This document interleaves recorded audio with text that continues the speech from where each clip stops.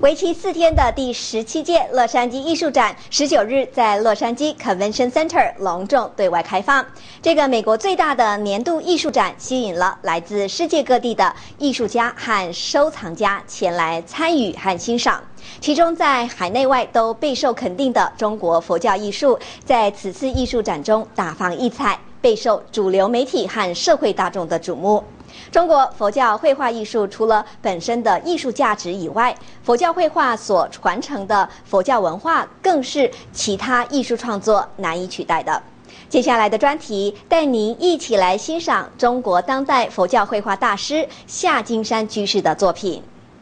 他潜心佛教绘画数十年如一日，他的作品。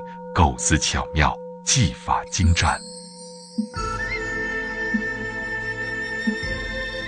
一笔笔彰显的是清净庄严，一层层凝结的是独韵匠心。绘佛像灵气，写圣言真谛，他就是当代中国国学艺术大师夏金山居士。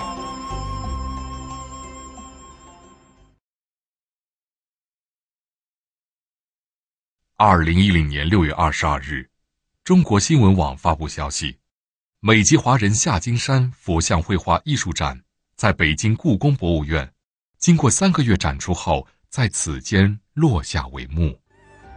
夏金山先生出生在山东潍坊这个文化气息异常浓厚的历史名城里。由于他天生聪颖，酷爱画画，十六岁时拜花鸟大师。郭卫渠先生学习绘画。二十八岁时，夏先生依至台北华严社做主南亭法师，皈依佛门，始至于尘刹中做本分事，力行菩萨道，展开了他为昌明佛教鞠躬尽瘁六十余年的至伟生涯。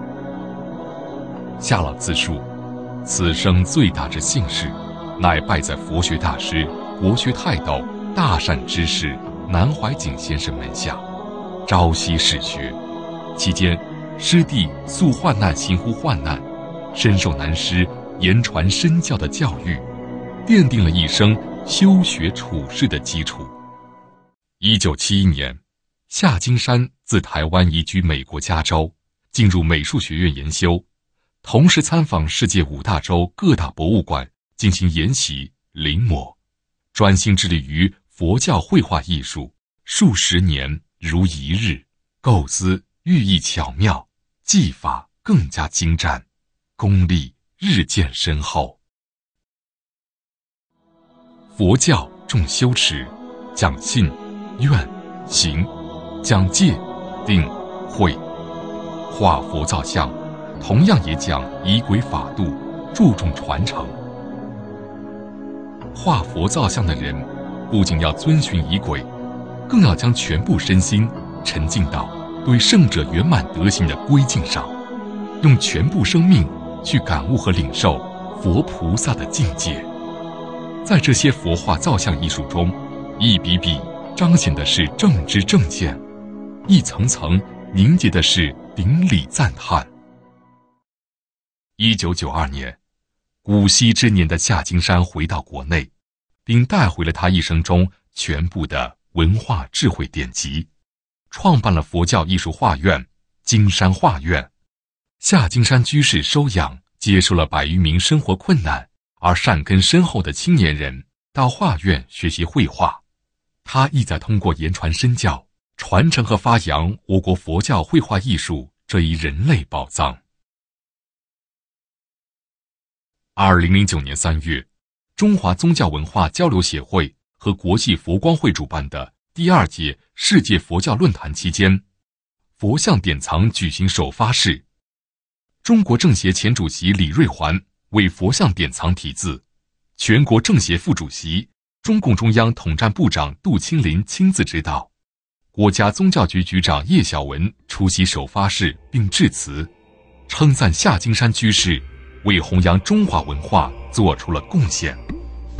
佛像典藏精选了夏金山居士率众弟子耗费数十年心血，用工笔重彩绘制的五千一百六十三幅佛像绘画作品，共万尊清净庄严的佛像。